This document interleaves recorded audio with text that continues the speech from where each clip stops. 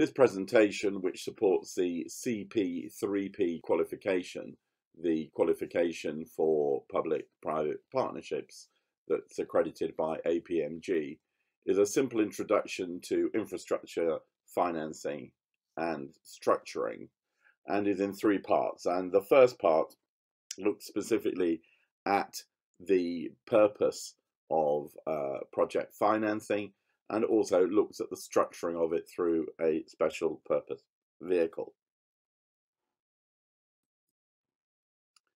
Public infrastructure is a relatively low risk, high reward investment and combining it with complex arrangements and contracts that guarantee and secure the cash flows make PPP projects prime candidates for project financing and the use of special purpose vehicles.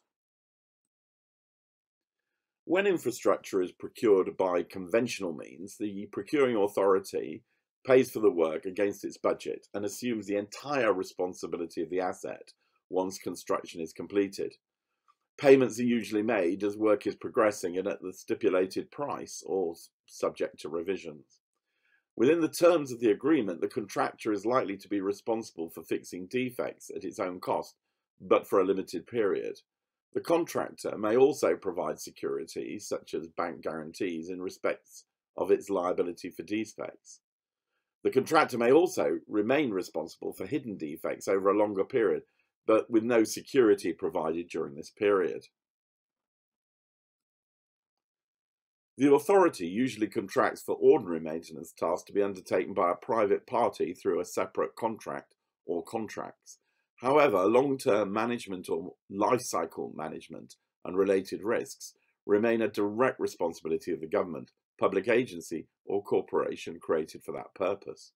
Renewals and major maintenance will usually be contracted and funded by the government or agency as and when needed.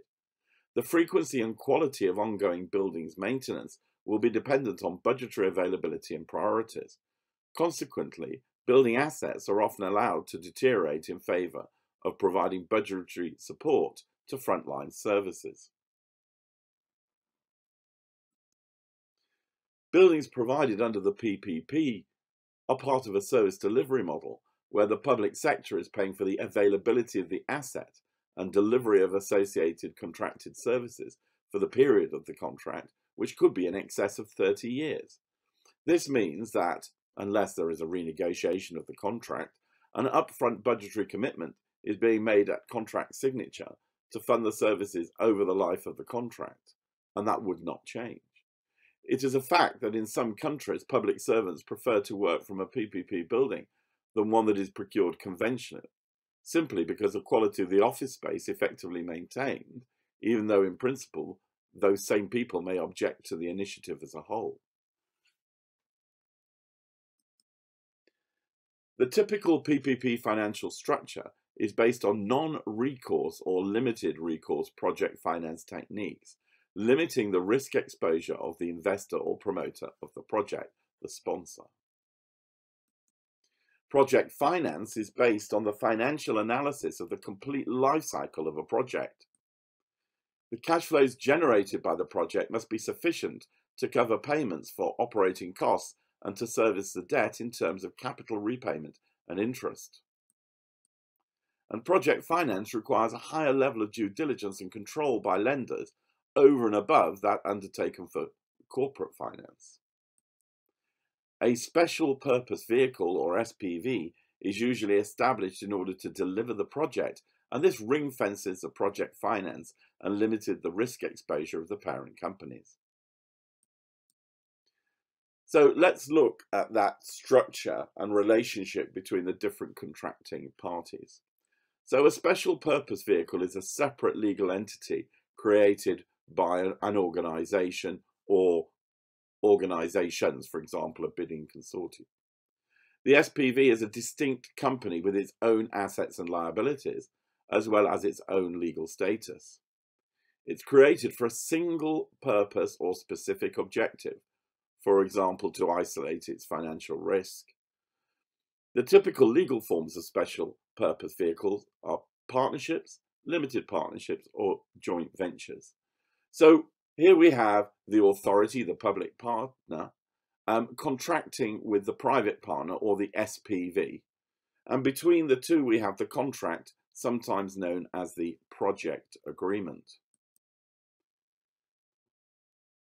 The SPV or the private partner will comprise of equity shareholders. And those equity shareholders, those equity investors, are typically the members of the consortium that bid for the original piece of work, often a uh, building partner and a service delivery partner.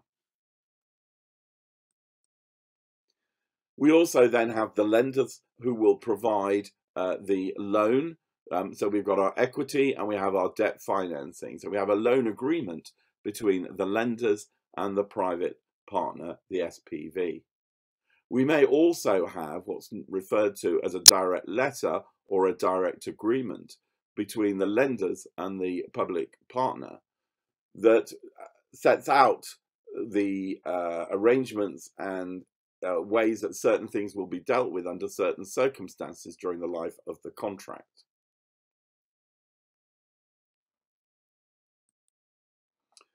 And then right at the bottom, we have the construction EPC contractor and the O&M contractors.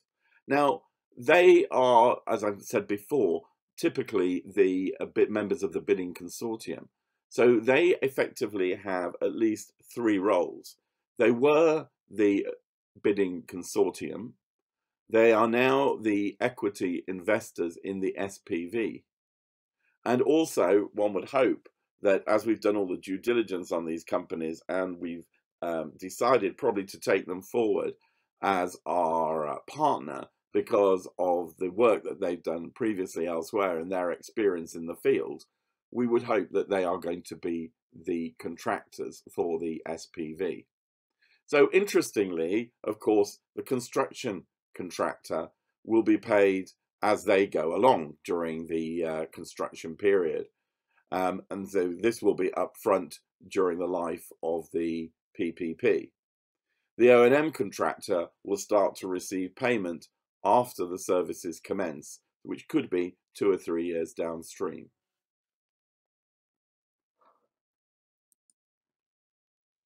Okay, so that's a quick introduction to project finance and special purpose vehicles.